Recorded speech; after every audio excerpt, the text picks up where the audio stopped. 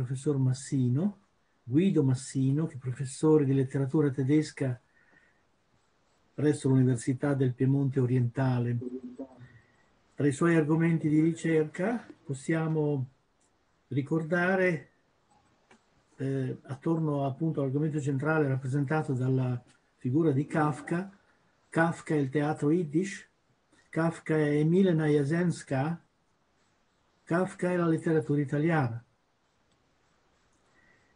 Ricordo tra le numerose pubblicazioni di Guido Massino un saggio del 1982 dedicato proprio a Franz Kafka, poi un articolo importante del 2011, Protocolli della legge Kafka all'undicesimo congresso sionista, pubblicato in Culture del sionismo 1940, 1900, 1895 scusate, e 1948, questo del 2011. Poi ha scritto in tedesco Der Unterschied ist Galizien und Budapest zum biografischen und kulturellen Hintergrund von Kafkas Erzählung ein Bericht für eine Akademie. Questo è del 2018. Ancora Kafkas Beziehung zum irdischen Theater von 900 äh, von 1960 bis 1970 zum biografischen und kulturellen Hintergrund von der Erzählung ein Bericht für eine Akademie. Il, il, eh, sì, il rapporto di Kafka con il teatro Yiddish nel periodo 1916-17 eh, sullo sfondo biografico e culturale del racconto un reportage per un'accademia. Ecco, ma il testo che è pertinente in questa serata è eh, quello curato dal, da Guido Massino e Claudia Sonino e le lettere a Milena. Questo testo è un'edizione critica, importante ricordare che si tratta di un'edizione critica delle lettere a, Milena di Kafka, di Franz Kafka. Questo testo è particolarmente interessante anche perché um, non solo per diciamo, i riferimenti in, impliciti e sottesi a, a, Dante, ma anche ad altri autori della letteratura europea, ma eh, anche in virtù del fatto che contiene due testi, due testi di uh, Milena Jesenska, eh, molto interessanti, uno dedicato al tema della felicità del matrimonio e l'altro è un ritratto di Kafka. Ma non aggiungo altro perché preferisco dare la parola appunto al professor Guido Massino. Ringrazio l'Associazione di Studi Rosmini di Trento e il professor Tugnoli per avermi invitato a parlare su un argomento poco conosciuto anche nell'ambito degli studi di Kafka. Delle letture dantesche di Kafka, infatti, non sono rimaste quasi testimonianze. Un'edizione della Divina Commedia, tradotta da Karl Streckfuss, si è tuttavia conservata fra i suoi libri dopo la morte appunto di Kafka. Ma eh, va subito detto che Kafka non sempre parla degli autori che hanno avuto peso nella sua formazione intellettuale oppure che hanno influenzato la genesi delle sue opere. Ben poco sappiamo, ad esempio, delle sue letture dei Vangeli e delle scritture in generale, o all'opposto, delle sue letture di Nietzsche. È stata l'edizione delle lettere a Milena che ho curato con Claudia Sonino per la casa editrice Giuntina a metterci eh, sulle, sulla strada di Dante. Vorrei ecco, far vedere il libro che è uscito eh, in prima edizione nel 2019 e poi in una seconda edizione riveduta nel 2020. Ecco, le lettere a Milena, che qui sono state tradotte per la prima volta integralmente da Isabella Bellingacci, portano il lettore al centro della vita di un grande scrittore e di molti conflitti che rimarranno poi irrisolti nel Novecento. Ma riporta anche al centro una storia d'amore che continua a vivere ben oltre l'orizzonte temporale e biografico dei suoi protagonisti. Ma eh, veniamo al nostro tema. Eh, Kafka, lettore segreto di Dante. La prima eh, significativa traccia di Dante che mi sembra di poter cogliere negli scritti di Kafka ci porta proprio non lontano da Trento e più precisamente a Riva sul Garda dove lo scrittore soggiorna nel 1913. Kafka aveva allora 30 anni, aveva pubblicato pochi brevi racconti, aveva già scritto La Metamorfosi che uscirà nel 1915, ma come scrittore è praticamente conosciuto, sconosciuto no? e vive, come sapete, una vita lacerata fra l'impiego in un istituto di assicurazioni e la letteratura. Da un anno inoltre è legata con la berlinese Felice Bauer, ma anche questo rapporto insomma, è segnato da mm, sentimenti ambivalenti e problematici. Arriva dunque, Kafka scrive agli amici praghesi di sentirsi come chi ha preso commiato dal mondo e si aggira nei pressi dell'anti-inferno. Che Kafka abbia qui presente il terzo canto dell'inferno quando Dante e Virgilio giungono all'Acheronte, alla porta del regno dei, dei, morti, ecco, trova conferma in un frammento del 1917 pubblicato postumo con il titolo Il, cacciat- il cacciatore Gracco. Il protagonista di questo racconto muore durante una battuta di caccia, ma l'imbarcazione che dovrebbe condurlo eh, nel regno dei morti e con la quale lui approda a riva sul Garda Ecco, l'imbarcazione per un errore del timoniere ha perso la rotta e il cacciatore è costretto a vagare fra il mondo dei vivi e quello dei morti. È possibile già ora fare un primo raffronto. A differenza di Dante, qui il viaggio nel mondo dei morti non può avere inizio e neppure di conseguenza l'incontro con il giudizio divino. È un tema che Kafka aveva però già affrontato tre anni prima, scrivendo Il processo, romanzo che verrà pubblicato anch'esso postumo. Ecco, come dicevo, delle letterature dantesche di Dante non ci sono quasi testimonianze. Lo stesso non si può però dire dell'amico Max Brod, che all'epoca era assai più noto di Kafka e che sarà poi l'editore postumo delle sue opere. Ecco, Max Brod si era occupato a lungo di Dante e nel 1918 inviò a Kafka mm, in lettura il trentesimo canto del Purgatorio. Glielo spediva per spiegargli il senso di una sofferta relazione straconiugale con una donna che lui considerava essere la sua guida spirituale. Il canto, come è noto, dell'incontro nel paradiso terrestre con, di Dante e Beatrice, di Beatrice che rimprovera Dante per aver abbandonato dopo la morte il cammino che lei gli aveva indicato no? e si presenta come madre severa. Così la madre e il figlio par superba. Max Brod sottolineava in questi versi dei risvolti eh, addirittura freudiani, eh, ma soprattutto gli stava a cuore fare capire a Kafka come l'elemento, diciamo, erotico, fisico, non fosse meno importante di quello spirituale nella Beatrice di Dante. Questa era la sua interpretazione, no? quindi una Beatrice carnale, dove l'elemento erotico è la premessa anche poi, direi, eh, della, dell'ascesi spirituale. No? Kafka Rispondendogli scrive che i versi di Dante sono bellissimi, però non condivide l'interpretazione dell'amico Brod.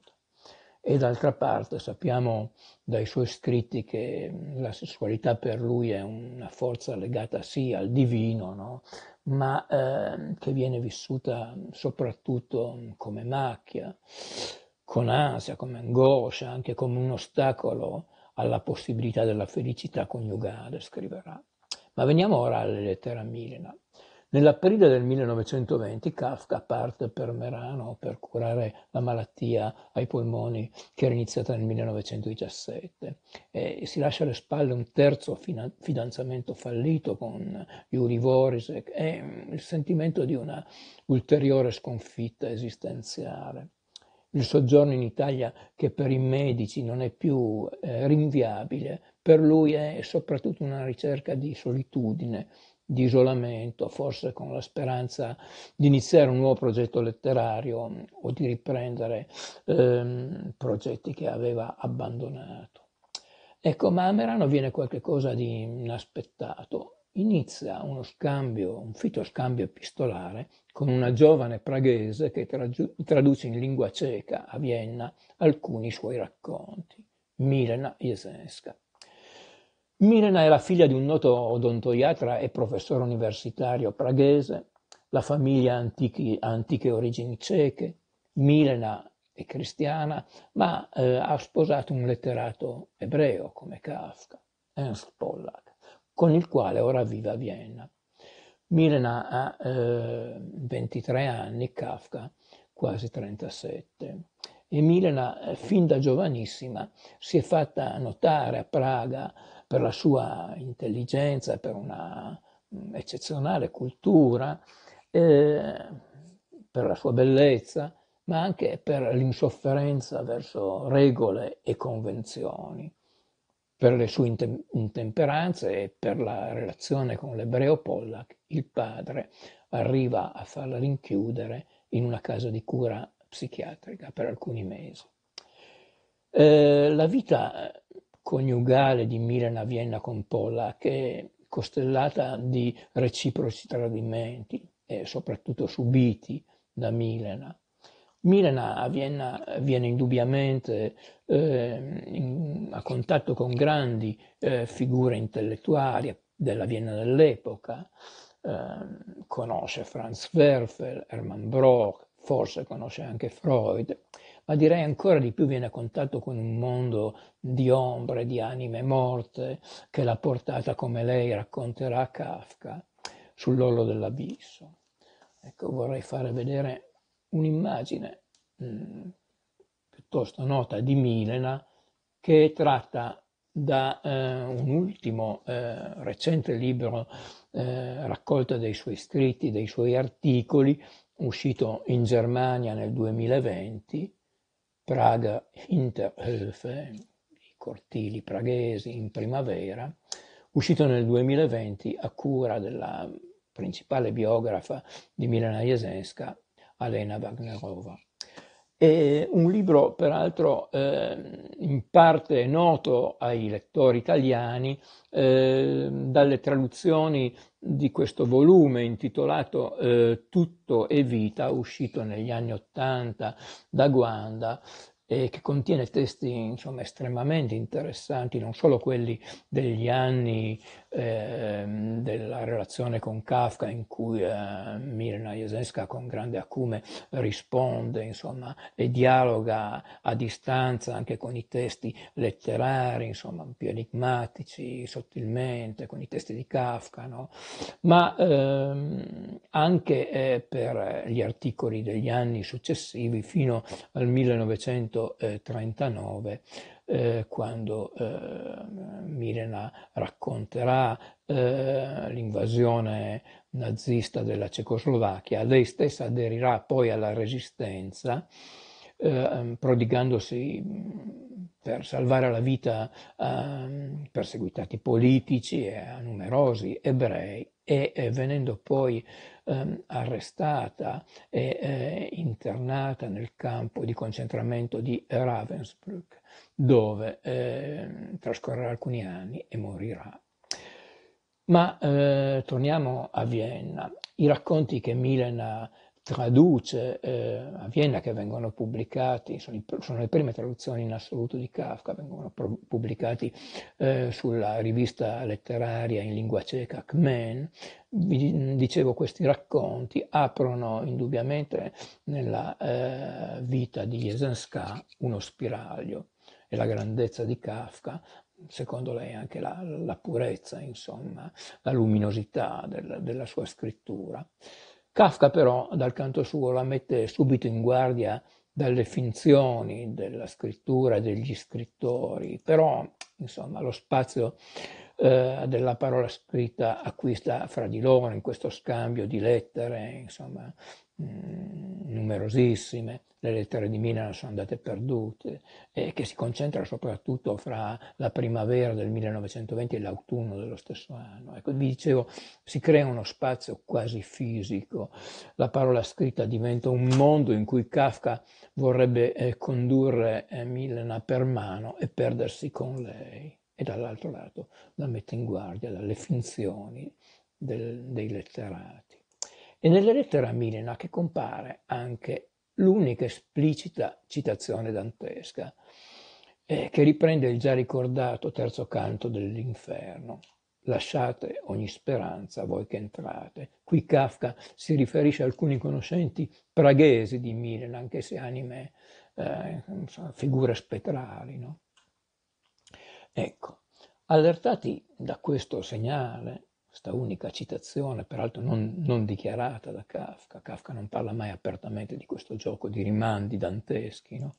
Allertati da questo segnale, possiamo allora iniziare a leggere in filigrana queste lettere e eh, ci, ci, accorgeremo allora che eh, fin dall'inizio Kafka riprende, forse anche ironicamente, motivi danteschi ci troviamo di fronte a una serie di richiami che si sovrappongono in lontananza, quasi impercettibilmente alla realtà, alla realtà quotidiana, non viene mai offuscata dalla, eh, concrete, nella sua concretezza insomma, da queste citazioni, insomma, il lettore quasi non se ne accorge.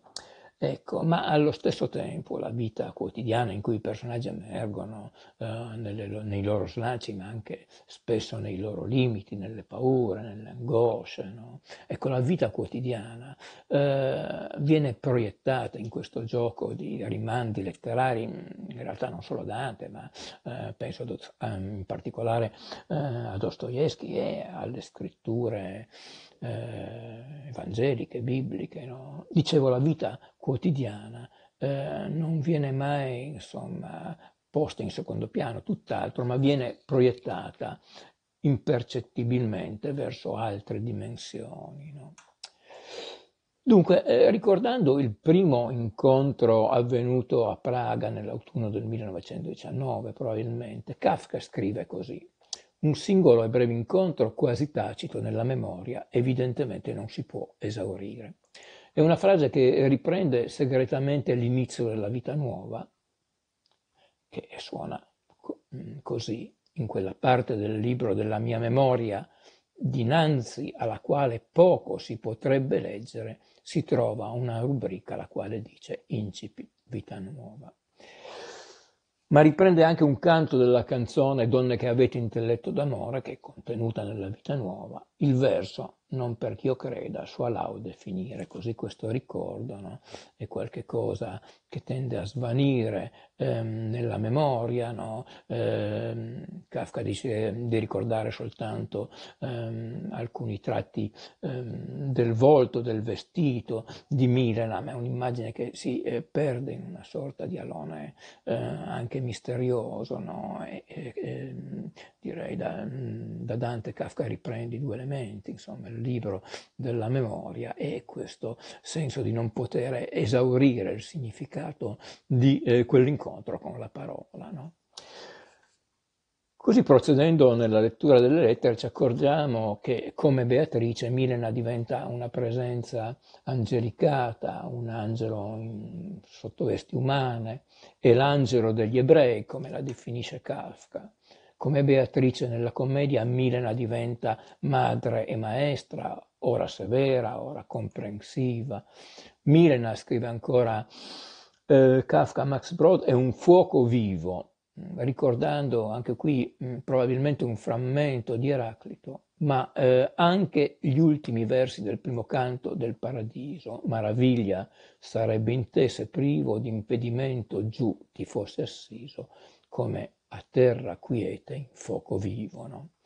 Allo stesso modo il nome di Milena gli ricorda cito Kafka, nel colore, nella figura una donna che si porta sulle braccia fuori dal mondo, dal fuoco. È un'immagine in cui ancora molto probabilmente è presente un'eco dantesca e in particolare l'eco della meravigliosa visione del terzo capitolo della vita nuova in cui Amore porta fra le braccia Beatrice in una nuvola di fuoco. E procedendo ancora, eh, troviamo, riaffiora spesso nelle lettere, il nesso eh, saluto, salute, insomma il, il, significato salvifico dell'incontro con Milena e dei suoi scritti. Eh, così Kafka eh, può scrivere alla giovane praghese, le tue lettere sono quasi in ogni riga la cosa più bella che mi sia capitata nella vita. Tu hai contribuito in maniera decisiva alla mia guarigione e ancora le scrive della mia esistenza donatami da te. E potremmo così continuare in questo gioco alla ricerca di, na- di nascoste citazioni e di motivi danteschi. No? Lo sguardo, il respiro di Beatrice, l'immagine del bosco o della selva che ritorna insistentemente nelle lettere come luogo in cui ci si perde e ci si ritrova. Quello però eh, che mi pare importante sottolineare è non tanto la ripresa di questi motivi danteschi in sé, quanto piuttosto la trasformazione e la loro metamorfosi. Negli scritti di Kafka D'altra parte i personaggi della storia, del mito, della letteratura transitano nell'epoca moderna, incrociando eh, la vita dei protagonisti mm, reali e si trasformano. Milena, come abbiamo visto, è anche lei stessa un angelo smarrito che ha bisogno di essere soccorso. Indubbiamente però anche la Beatrice dantesca che Kafka presente non è affatto una figura univoca, ma piuttosto, come la definiva Carl Federn agli inizi del Novecento, il personaggio più enigmatico della letteratura universale. Siamo in anni che eh, precedono ancora i grandi saggi di Auerbach sull'interpretazione figurale di Dante riprendendo la tradizione esegetica cristiana che vede nei personaggi l'anticipazione di personaggi di dimensioni future.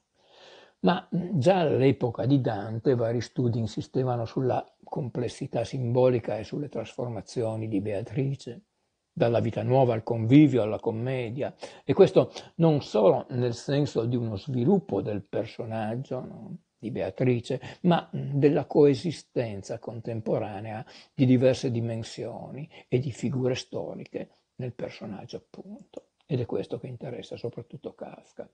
Altre interpretazioni ancora sostenevano la presenza di influssi cabalistici nell'opera di Kafka, una tesi assai controversa peraltro, Umberto Eco la riteneva plausibile, e una tesi che ebbe un certo seguito fra 8 e 900, supportata eh, dall'ipotesi di un'amicizia fra Dante e il letterato ebreo Immanuel ben Salomon, noto anche come Manuello Romano, che alcuni anni dopo la morte di Dante scrisse un poemetto in ebraico ispirato alla Divina Commedia che si intitola Inferno e Paradiso. Ora è probabile eh, che l'eco di questi studi sia giunta a Kafka. I protagonisti delle lettere in ogni caso sembrano vivere eh, talvolta in mondi paralleli, avere una concreta dimensione terrena, oltre la quale se ne delineano delle altre. Ecco, le cose si complicano ulteriormente in Kafka perché i ruoli si scambiano di continuo, come in un gioco dei quattro cantoni, dirà Kafka stesso. L'allievo diventa il maestro, la salvata diventa la salvatrice. Ecco, dunque, Dicevamo che eh, la relazione fra Kafka e Milana Jesenská si svolge in un breve arco temporale. A inizi luglio del 1920 si incontrano per alcuni giorni a Vienna e poi in agosto sulla frontiera fra Austria e Cecoslovacchia. Kafka pensa forse per un attimo a un futuro insieme, ma altri interpreti sostengono esattamente il contrario. In ogni caso capisce che Milena non lascerà il marito e non vuole addentrarsi in un rapporto a tre sempre più problematico, teme la vitalità di Milena, che senza mezzi termini gli dice fin dall'inizio di non poter amare un volto fatto solo di lettere scritte. Nell'autunno del 1920 Kafka infine le chiede di sospendere la corrispondenza. Solo il silenzio è possibile, le scrive, tutto il resto distrugge ulteriormente. Fu certamente un distacco doloroso per tutte e due, ma forse anche l'inizio di una rinascita. Milena si allontanerà definitivamente dal marito dedicandosi all'attività giornalistica per i quotidiani praghesi e poi ritornerà a Praga. Kafka, pur nell'aggravarsi della malattia, nel 1922 scrive Il Castello. Ci saranno ancora dei brevi incontri, alcune lettere. In una Kafka le parla dei baci inviati per lettera che non raggiungono mai il destinatario perché degli spettri avidi di energie vitali li bevono durante il tragitto. Insomma, qui si ha la sensazione, eh, appunto, i baci scritti, eh, una relazione mm, quasi esclusivamente epistolare, insomma il senso anche della scrittura, della letteratura che eh, si sovrappone e all'amore stesso e alla fine lo consuma, anche se per altro verso la letteratura, il gioco letterario, i rimandi ai grandi scrittori, insomma proprio il gioco della scrittura, anche quello che in questa relazione dà sostanza, grandezza, respiro, no? però Kafka, la scrittura è qualcosa, lo sappiamo in Kafka che è di più e di meno della vita e c'è anche questo senso, insomma, eh, di un amore che eh, si perde proprio perché Kafka ehm, ehm, si arresta, insomma, talvolta, come notava Claudio Magris, ehm, ehm, insomma, in una sorta di desiderio di vivere soltanto ehm, sulle vette, eh, anche ehm, frenato, insomma, da un timore verso la vita istintuale, no? erotica, no? e lo spazio eh, vero, eh, scriverà eh, Kafka in una delle prime lettere a Milena, è quello eh, mio, della mia camera, della scrittura, delle lettere stesse. Qui eh, vive la Milena reale, ben più reale di quella di Vienna, no? e d'altro lato, insomma, come, come, ci dice questa lettera a cui vi ho accennato, la sensazione, insomma, in qualche modo che eh, l'amore anche si perde no? attraverso le lettere e nella scrittura che avvicinano, ma tiene anche, eh, la scrittura che tiene anche lontani. No? Ecco, eh, vi dicevo, ehm, quando nel 1923 Kafka, con un atto molto coraggioso, lascia per la prima volta definitivamente Praga e si trasferisce a Berlino con Dora Diamant, che è la sua ultima compagna, Scrive a Milena, senza mai nominare Dora, che nel mondo esistono ancora grandi miracoli. E leggendo insomma le lettere, anche quelle precedenti, si ha la sensazione insomma, che lui ponga Milena in una sorta di rapporto, insomma ancora è Milena la figura dell'angelo che guida, che segna il suo destino, anche nella spinta insomma eh, verso questa decisione di lasciare eh, Praga nel 1923, non soltanto, insomma Milena è per lui eh, direi questo, l'angelo che lo riporta sulla via della scrittura dopo tre anni in cui non aveva scritto quasi nulla, no? facendogli sentire la sua grandezza e facendogli sentire come lui dirà che l'angoscia è anche la parte eh, migliore di me. No? Milena lo ama per la sua angoscia perché sa che la sua angoscia è, quello, eh, è ciò che lo fa essere un grande scrittore. No? E però sente anche insomma, una presenza costante nei momenti chiave della sua vita e probabilmente anche in questa decisione no, di lasciare eh, Praga per raggiungere eh, Dora eh, a, a Berlino.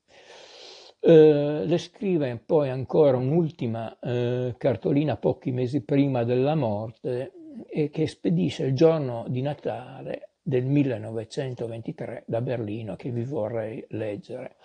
Cara Mirna, è da molto che c'è qui un brano di una lettera pronto per lei, ma non riesco a proseguirla perché le antiche sofferenze eh, mi inseguono anche qui. e eh, mi hanno attaccato, mi hanno un poco battuto, tutto mi stanca, ogni segno di penna, tutto quello che scrivo mi sembra troppo grandioso, senza rapporto con le mie forze. E se scrivo cordiali saluti, questi saluti avranno poi davvero la forza di arrivare nella rumorosa, grigia, selvaggia, urbana Lerchenfelder Strasse, dove io e le mie cose non potremmo neanche respirare, pensa all'abitazione di Milena Vienna. Così non scrivo affatto, aspetto tempi migliori o ancora peggiori. Per il resto, qui sono curato bene e teneramente, fino al limite delle possibilità umane. Ho notizie dal mondo e con, e con, gran forza solo attraverso i rincari. I giornali di Praga non li ricevo, quelli berlinesi sono troppo cari per me. Che cosa ne dice di mandarmi ogni tanto un ritaglio dei suoi articoli, del genere di quelli che una volta mi allietavano tanto. E ora sì, i migliori saluti. Che importa se già alla porta del giardino cadono per terra? Forse la sua forza è tanto maggiore, la sua, la forza di Milena. Una conclusione, insomma, enigmatica con questi saluti finali che non hanno quasi la forza di superare la porta di casa e che cadono sulla soglia del giardino un'immagine appunto enigmatica che chiude eh, le lettere e si ricollega, in, si ricollega, in, qualche modo anche alle lettere iniziali. No? Eh, un saluto che si riconosce insomma debole, no? ma forse la forza di Milena sarà per questo ancora più grande. No? C'è in quest'ultima immagine il ricordo del chicco di grano che se non cade per terra e muore non può portare frutto, anche forse quell'idea tanto più piccolo, tanto più debole, tanto più forte, tanto più grande di San Paolo. Ma certamente in questa immagine finale c'è anche un richiamo ancora eh, a Dante, in particolare al motivo del saluto di Beatrice, prima negato e poi concesso. No? Sì, alla fine le invio i miei migliori saluti, no? Chissà se arriveranno, non se avranno la forza, ma forse per questo potrebbero essere ancora più in qualche modo salvifici, ma tutto rimane sospeso in una dimensione abbastanza enigmatica. Ehm, ecco, le numerose citazioni, i rimandi, la eh, rielaborazione dei motivi danteschi, una rielaborazione segreta, non ne parla mai apertamente, Kafka rimane, come abbiamo detto più volte, sullo sfondo. Eh, tutto questo eh, credo che possa farci legittimamente supporre che Kafka si sia confrontato a lungo in diversi periodi della sua vita con Dante, penso anche in particolare quando lui scrive i suoi romanzi più celebri, Il processo, e eh, il castello forse non si è confrontato a lungo, ma con la genialità intuitiva che gli era propria. No? Naturalmente per, per Kafka eh, Dante potrebbe essere una guida spirituale e certamente anche eh, il modello di una scrittura polisemica che lo affascina. No?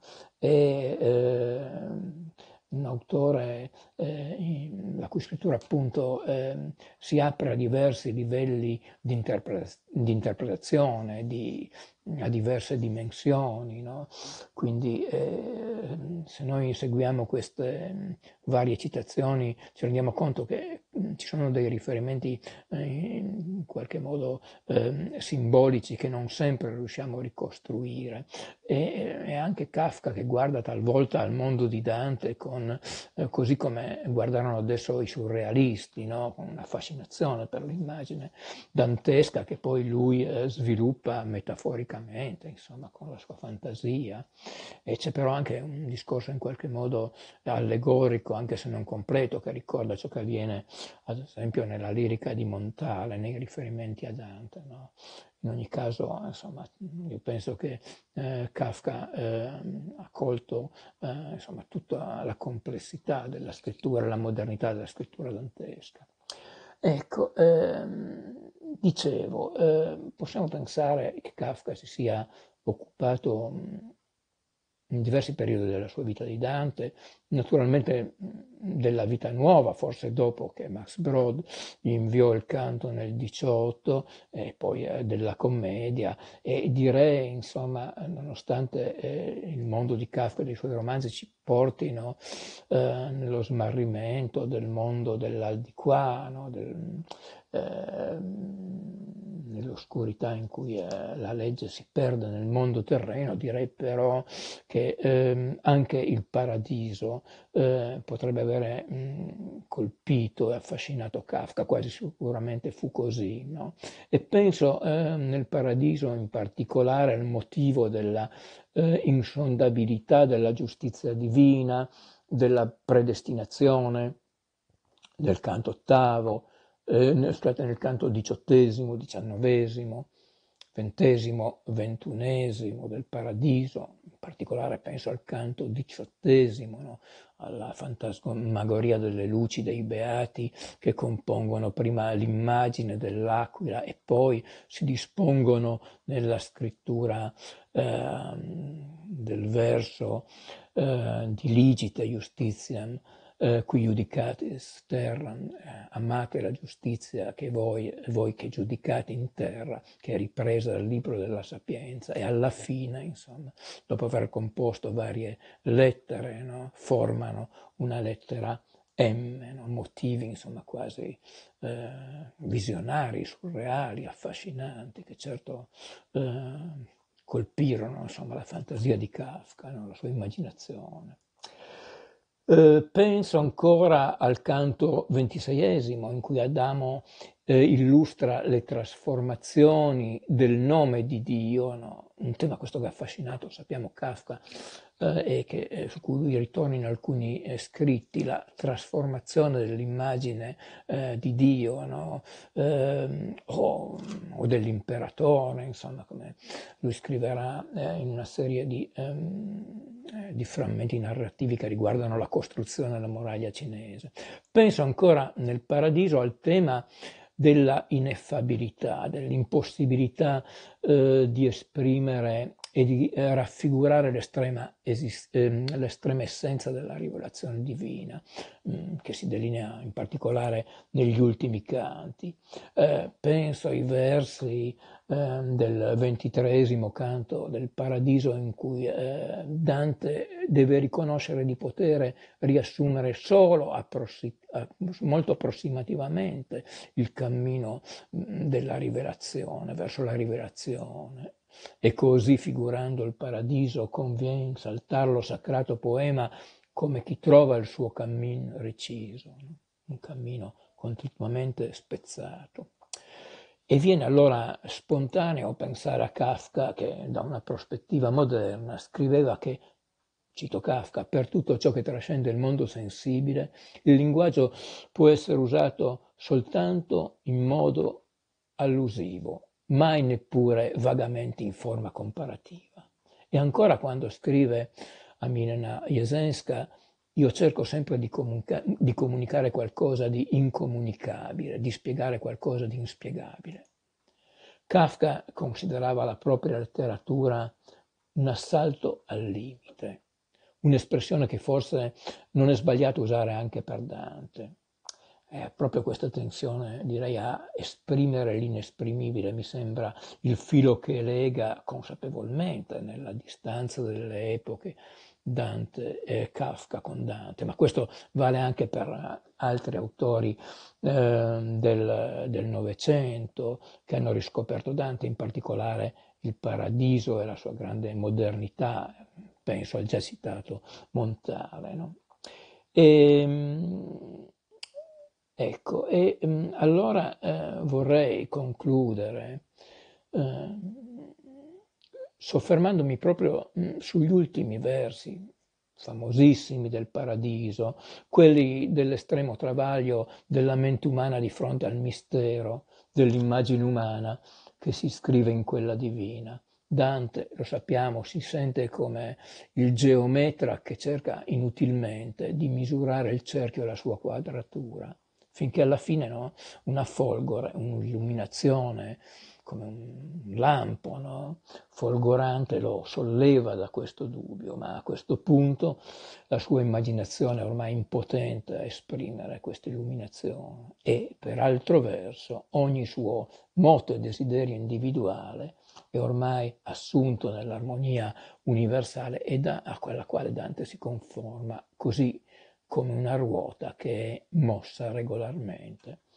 Sono i versi, insomma, famosissimi che chiudono il poema, all'alta fantasia a cui manco possa, ma già volgeva il mio disio il velle, siccome rota ch'igualmente mossa all'amor che muove il sole e le altre stelle.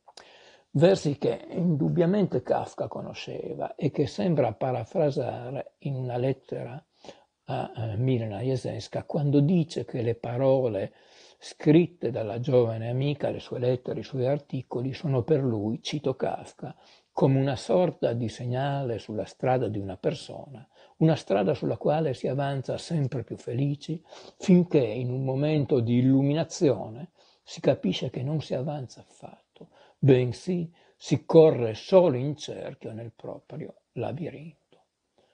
Un passo in cui eh, peraltro è evidente la distanza rispetto al procedere, al cammino di Dante. L'ascesa si conclude qui infatti non più in armonico confluire nell'ordine universale, ma in un percorso in cui il soggetto ruota su se stesso e si perde nel proprio labirinto. Un percorso quindi concentrico, no? così come concentrici sono i sentieri che percorrerà il protagonista dell'ultimo romanzo di Kafka nel tentativo di raggiungere il castello. Il protagonista del castello è eh, l'agrimensore K, agrimensore, Landvermesser, un termine probabilmente, anzi direi certamente, non casuale, che equivale, insomma, agrimensore a geometra. Kafka scriveva che l'arte è un essere abbagliati dalla verità. Solo la smorfia di dolore sul volto che arretra è vero, null'altro. Solo la smorfia è vera, null'altro.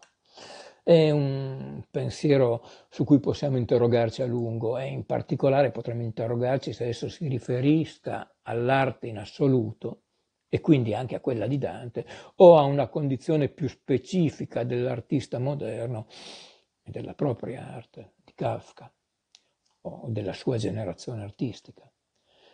In ogni caso Dante si arresta di fronte all'essenza ultima, all'ultima rivelazione, a quell'essenza eh, noumenica del mistero divino, ma il suo viaggio si presenta pur sempre come sintesi di un'epoca e direi ancora di più come trasmissione di verità trascritte sotto dettatura divina per ricondurre sulla via della salvezza e della fede un'umanità smarrita. Per Kafka, che si considera per molti versi anche lui il rappresentante della propria epoca, le cose stanno diversamente. Il medico di campagna, protagonista di un suo racconto, non può portare soccorso al mondo perché quel mondo, ci dice, ha perduto la fede e ha perduto persino il desiderio di guarire di essere salvato. Il messaggio dell'imperatore è un altro suo famoso racconto, non raggiungere mai, mai, il suddito a cui è destinato perché il messaggero che dovrebbe portarlo si perde negli infiniti cortili che eh, stanno attorno al palazzo imperiale e fra i detriti del mondo. L'uomo di campagna, infine, della nota parabola o leggenda davanti alla legge, si mette in cammino alla ricerca della legge, ma deve arrest- arrestarsi, come sappiamo, di fronte ad una porta aperta dove un guardiano gli proibisce l'accesso. Davanti a questa porta, ancora una porta, ricordiamo la porta dantesca che apre la via, fa iniziare la via del regno dei morti, no? anche qui una porta, una porta aperta. Dicevo, eh, l'uomo di campagna trascorre di fronte alla porta della legge tutta la sua vita in un'attesa vana e, e alla fine, quando sta per morire, proprio quando eh, l'oscurità dei sensi, insomma il buio, la tenebra, eh, avvolge eh, ormai eh, la sua vita, i suoi sensi, ecco che vede rompere lontano, ehm, in lontananza, eh, il fulgore, il, il, lampo, il chiarore in, di una luce inestinguibile, che è appunto la luce della legge, ma ormai la sua vita eh, sta per terminare, la porta, gli dice il guardiano, sarà subito chiusa e quella porta tuttavia era destinata soltanto a te. Ed ecco dunque che anche nella parabola della legge, ancora una volta direi, il viaggio di Kafka eh, sembra interrompersi molto prima, sulla soglia fra l'aldilà e l'aldilà. Sembra interromper, interrompersi, insomma, eh, là dove quello di Dante inizia. C'è un limite, insomma, su cui Kafka si sofferma, l'idea del limite, del confine, eh, della linea oltre la quale non si può andare, un, un, motivo su cui ritorna in diversi suoi scritti, no? e che non, non si può eh, interpretare univocamente. Questo limite è senz'altro per Kafka un elemento costitutivo dell'esperienza umana e per altro verso è anche un confine che non sembra fissato una volta per sempre, ma che varia piuttosto attraverso le epoche. Epoche, insomma, indubbiamente differenti, quella di Dante, di Kafka, e non solo per, per il trasformarsi dell'orizzonte dell'esperienza storica, ma sembra dirci Kafka anche per la intima statura dei loro interpreti, dei protagonisti, degli artisti artisti che le hanno caratterizzate, l'epoca di Dante, quella di Kafka, diverse stature, insomma, degli interpreti. Gli artisti sono anche, direi, i personaggi che aprono eh, la via verso, eh, verso, il dialogo, insomma, verso il rapporto con l'essere, insomma, epoche diverse, stature artistiche diverse.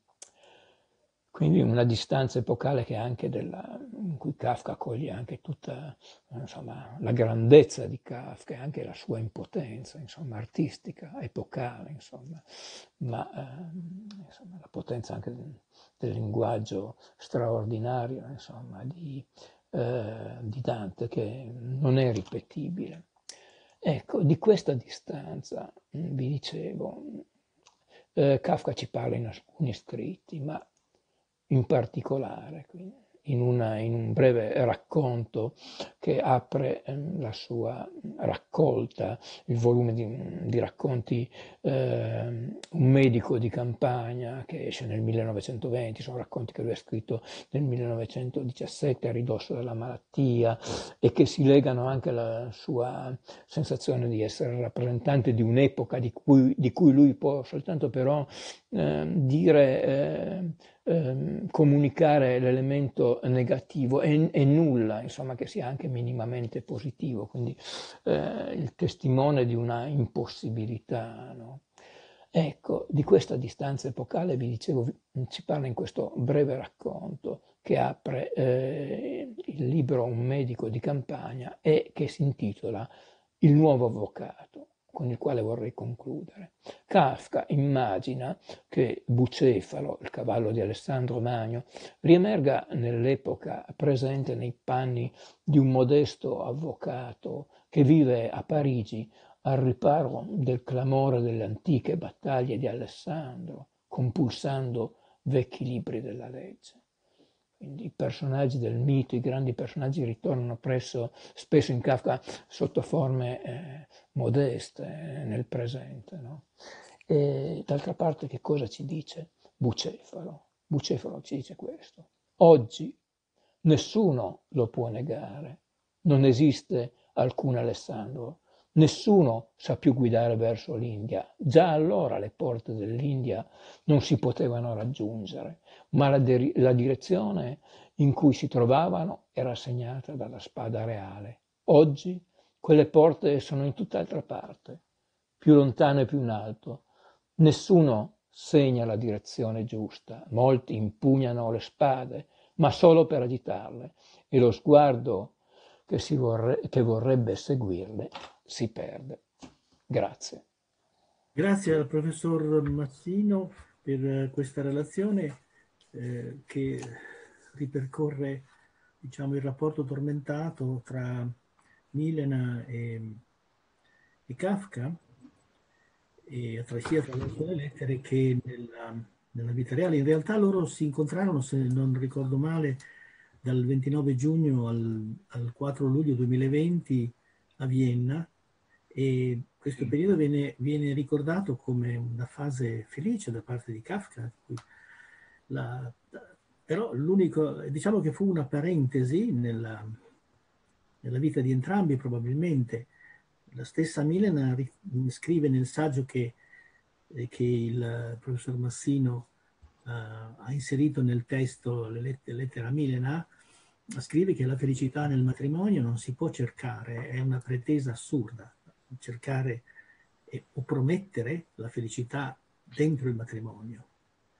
E, ma eh, chiaramente questo vuol dire allora che la felicità si può solo vagheggiare dall'esterno, fuori del matrimonio, in qualche caso raggiungere, ma sempre col tormento se si tratta di pagare il prezzo di una relazione extraconiugale, naturalmente eh, con sensi di colpa laceranti. E quindi è un tema esistenziale di, di notevole, di notevole eh, eh, importanza, insomma, per quanto riguarda poi la ritrosia di, di Kafka a sposarsi, suo, questa sorta di prevenzione, ehm, questi suoi fallimenti, lui stesso li considera fallimenti, i fidanzamenti interrotti. E questo vuol dire che evidentemente in cuor suo amava qualcosa di trascendente, amava superare i limiti del, dell'Iket Nunc. Non so, Ecco, questo è molto interessante questa è una, diciamo, un, una, una questione, un tema che travalica i limiti, diciamo, di ogni epoca e di ogni momento storico. Questo è davvero interessante.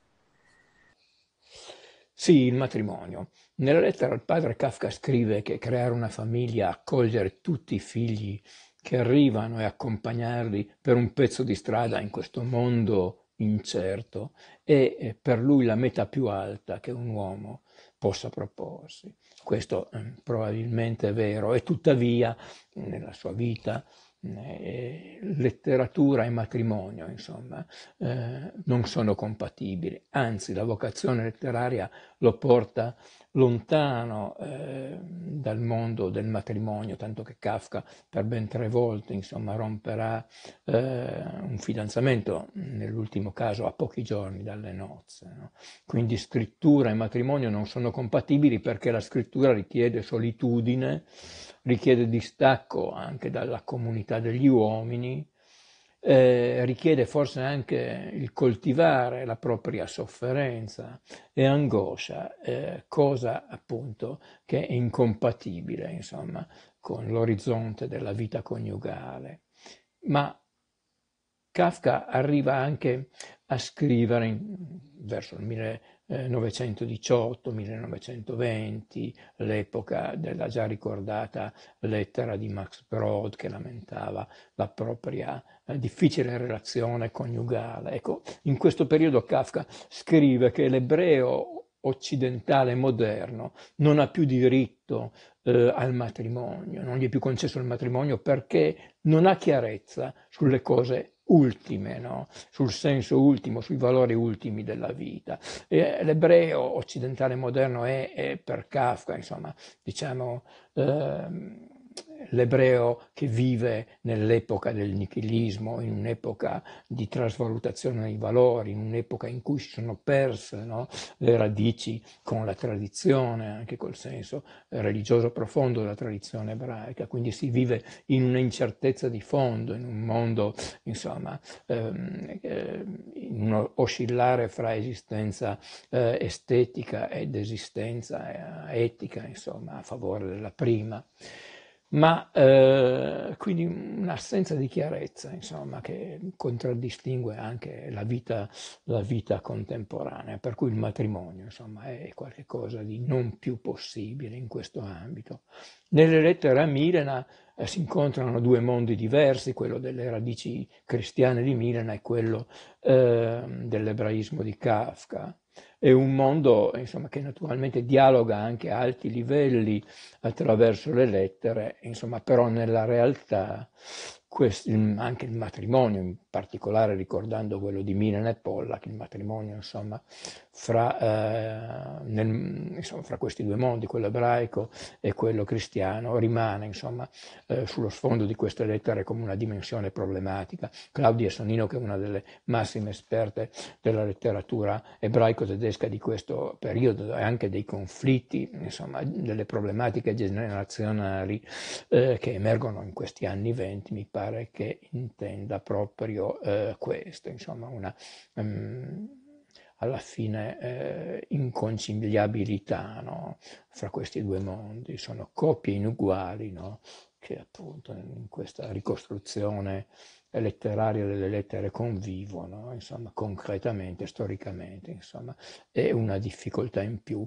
Kafka viene a parlare del matrimonio, eh, però soltanto insomma, alcuni anni dopo il distacco con Milena, nel momento in cui Milena, forse anche ricordando una certa intransigenza di Kafka, che in fondo aveva voluto arrivare a, a, a, insomma, questo distacco nel 1920 perché non voleva continuare una relazione a tre con Milena, ecco, ricordando una certa intransigenza, no? scriveva che eh, il vero pericolo del matrimonio, insomma, forse non è tanto l'infedeltà, almeno così sembra dire, quanto piuttosto il chiedere al matrimonio qualche cosa di non misurato con l'esistenza terrena, la fedeltà eterna, no? e ancor più la felicità. Forse eh, vivere il matrimonio eh, con fedeltà vuol dire, secondo Milen, accettare eh, il proprio compagno o compagna sue, nei suoi limiti, nelle contraddizioni, anche negli aspetti, insomma, poco gradevoli. Kafka a questo punto risponde in maniera eh, piuttosto vivace, dicendole che eh, sposarsi vuol dire invece essere certi, no? sullo sfondo di quanto abbiamo detto è un'affermazione, insomma, um, anche sorprendente. No? Ma eh, se noi pensiamo in fondo mm, alle lettere, a quanto abbiamo mm, detto fino ad ora, in particolare proprio al riferimento dantesco e a Beatrice come Kafka lavori su questa figura, a quanto Kafka si discostasse dall'interpretazione che ne dava Brod no, di una Beatrice terrena, eh, ecco che eh, ci rendiamo conto insomma, che questo intervento eh, così eh, di Milena sul matrimonio come rinuncia alla felicità e in fondo anche alla fede, insomma, è, è assai lontano da quella rielaborazione, da, direi da quella, ehm, anche da quella via su cui eh, Kafka aveva voluto incanalare insomma, il loro rapporto, una via insomma, in qualche modo quella della ricerca spirituale del, eh, e dell'ascesi. E, um, e, quindi mi sembra che il richiamo eh, segreto a Dante no, sia ancora più plausibile alla luce di, mm, di questa reazione no, eh, di Kafka eh, nei confronti di Milena che parla di un matrimonio come rinuncia mm, in fondo alla, ai, ai, valori ultimi alla felicità. No. Eh, ecco, indubbiamente eh, c'è da fare una riflessione sulle donne nell'opera di Kafka e poi eh, nelle lettere a Felice, che, scusate, a Milena, che in, in qualche modo sono e se stesso in un libro a sé stante. I personaggi femminili eh, nel mondo di Kafka, nei suoi romanzi, sono figure ben diverse insomma, dalla Beatrice di Dante. No? Mm, pensiamo a, a Leni nel processo, ma anche a Frida nel castello, sono figure che piuttosto invitano no, eh, il, i protagonisti a eh, rinunciare alla, alla, ricerca di qualche cosa che va oltre. No? Nel castello a rinunciare a eh, chiarire il significato della chiamata dell'agrimensore che ha il castello, ma piuttosto eh, appunto anche Frida lo invitano a, ad accettare di vivere nella comunità del villaggio, rinunciando ehm, a capire insomma, quale sia il senso insomma, della, della, sua chiamata al villaggio e anche in fondo della sua vita. No? E così le figure poi sono legate, come l'abbiamo già detto nel mondo di Kafka, eh, anche all'elemento erotico, pensiamo alla felliniana Brunelda eh, di America, un elemento che, che, che, macchia, insomma, che in ogni caso eh, ci riporta eh, in modo pregnante all'al di qua, non certo insomma, una dimensione eh, angelicata. No? Nelle lettere a Milena troviamo qualche cosa appunto di completamente diverso, è una sorta di romanzo dedicato alla donna, all'amore, anche all'amore, insomma, che naturalmente non cancella anche direi una certa pregnanza ehm, terrena, no? il confronto appunto anche su, su argomenti che riguardano la, il proprio rapporto con l'Eros e che ritroviamo nelle lettere, ma che in ultima analisi insomma si proietta appunto come abbiamo visto su un modello dantesco e qui ehm, ancora eh, una volta eh, possiamo eh, pensare al, all'importanza che abbia avuto come riferimento lontano no? Dante no? Come, e Beatrice come colei che indica una via anche di ascesi eh, nel vivere in qualche modo anche poi eh, nel, nel, riscrivere letterariamente no, ehm, il rapporto con eh, Milena Jesenska. Ecco, chiedo a, ai presenti di intervenire eventualmente, qualcuno vuole porre qualche quesito. Intanto che aspettiamo io ne porrei un secondo e mi chiedo se l'antisemitismo strisciante già all'epoca, in quegli anni in cui Milena e Kafka scrivevano, eh, non abbia potuto avere un peso, considerando appunto il fatto che mi pare che Pollack, il marito di Milena, fosse ebreo, lei era invece cristiana, non abbia potuto avere questo antisemitismo, questo clima antisemita, questa atmosfera, un ruolo nella diciamo, nell'incremento delle difficoltà psicologiche e relazionali tra loro, ma in più in generale nella società del tempo. Insomma. L'antisemitismo. Sì, certamente è un tema eh, centrale in queste lettere. Eh, bisogna subito dire che siamo in anni eh, che segnano una svolta, insomma, dopo la prima guerra mondiale con la formazione degli stati nazionali, la dissoluzione dei grandi imperi, ecco che eh, l'antisemitismo viene alla ribalta. Eh, a Merano in particolare Kafka eh, apprende della pubblicazione di una traduzione in lingua tedesca dei protocolli dei Savi di Sion che eh, eh, lui legge, insomma, in stralci pubblicati da un giornale mh, mm, cattolico eh, di Merano e che Kafka giudica eh, spaventosi e stupidi allo stesso tempo. Insomma, questo soggiorno a Merano è anche un incontro con un um, antisemitismo sempre più uh, marcato, no? non solo a Merano, ma anche uh, a Monaco, eh, in Germania, eh, apprende Kafka proprio nella primavera del 1920 che un, la rappresentazione di un dramma dell'amico Brod è stata interrotta a Monaco da ripetute eh, insomma, esclamazioni antisemite, per lui è qualcosa di... Ehm, di inaudito, insomma, di doloroso, ma anche a Praga, insomma, l'antisemitismo è sempre più, ehm, direi, un fatto eh, quotidiano no? che si insinua nella vita della, eh, anche della nuova, eh, del nuovo Stato cecoslovacco. Ecco, proprio questi mesi di Merano, eh, oltretutto vorrei ricordare che al soggiorno di Kafka a Merano eh, è stato dedicato proprio dalla città di Merano eh, un anno insomma, di studi, di celebrazioni e un volume curato da Patrick Rina e eh, da Veronica Rieder che si intitola Kafka a Merano, uscito per la casa editrice Rezia, che ci riporta proprio in questo clima dell'antisemitismo, eh, in questi territori che sono passati forzosamente nella, nel, nel, a far parte insomma, dello Stato italiano. No? Ecco, quindi Merano è anche eh, l'esperienza insomma, di un, anche nella pensione dove lui vive, di, una, eh, di, un atteggiamento sempre più intransigente, ostile nei confronti degli ebrei. E questo naturalmente è importante per Kafka, scrittore, perché lui viene ad avere sempre di più eh, la eh, sensazione di essere, eh, proprio come scrittore in lingua tedesca, il rappresentante di una cultura, di un popolo che gli nega il mandato di farlo. No? Quindi come scrittore in lingua tedesca, scrittore di un, di una, mm, insomma, che rappresenta un, mondo, un grande mondo culturale che però insomma, al presente non gli riconosce più il mandato, la legittimità ehm, di farlo. No? quindi una coscienza anche ehm, dolorosa che gli fa sentire ancora di più la dimensione del suo essere senza patria.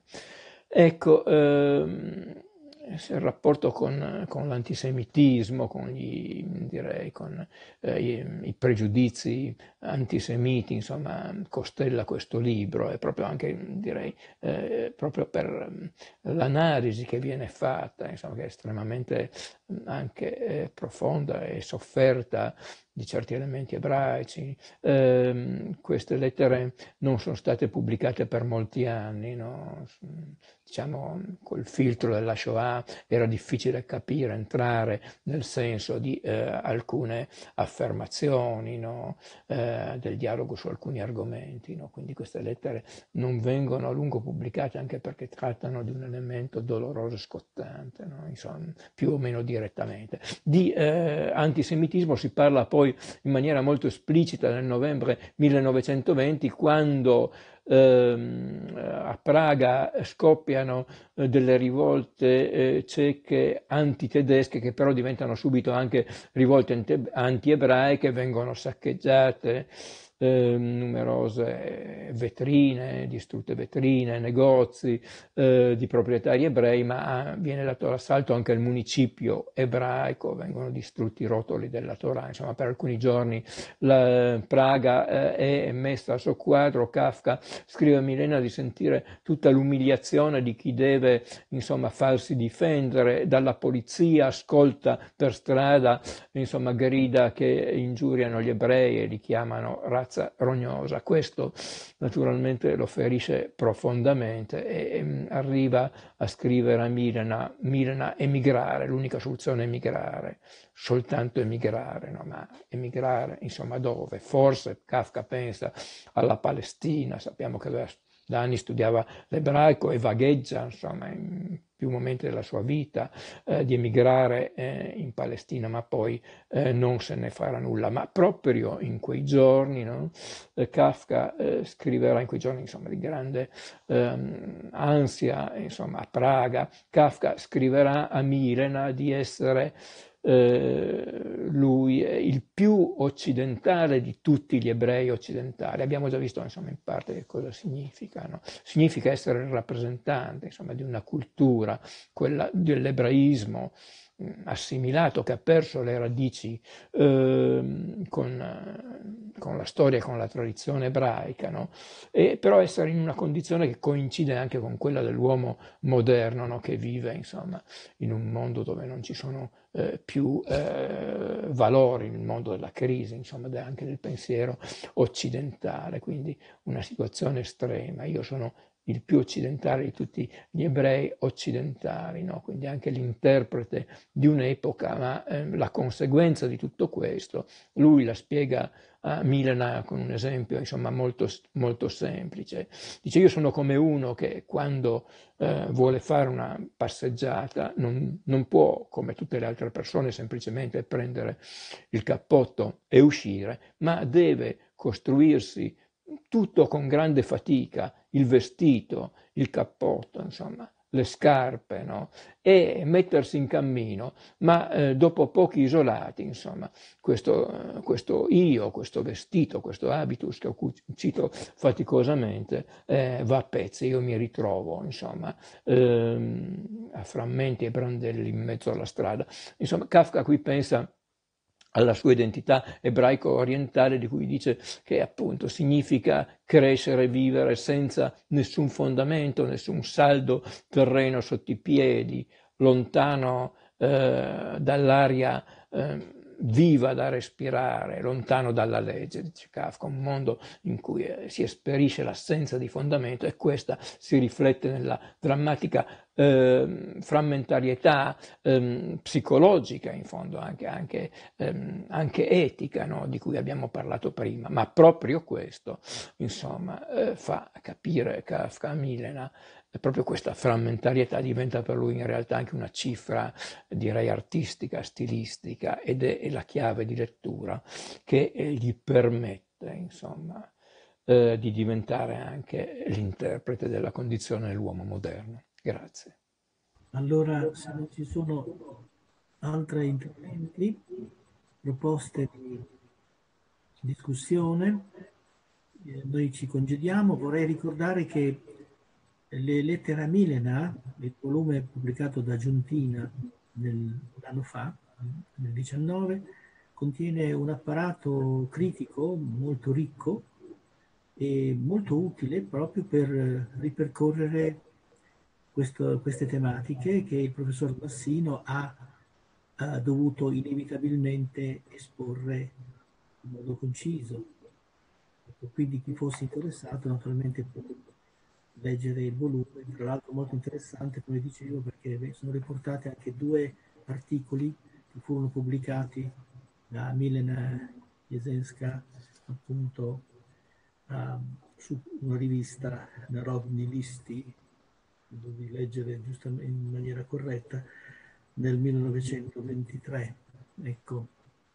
E mm, ringrazio, ringrazio tantissimo Guido Massino e mi auguro che ci si presenti un'occasione per parlare di Kafka, forse nel 1924, l'anno della morte di Kafka, noi, eh, volevo dire nel 2024, potremo, potremo organizzare eh, diciamo un seminario proprio per ricordare e invitare di nuovo il professor Massino, esperto speciale di questo scrittore. Buona serata e arrivederci, grazie.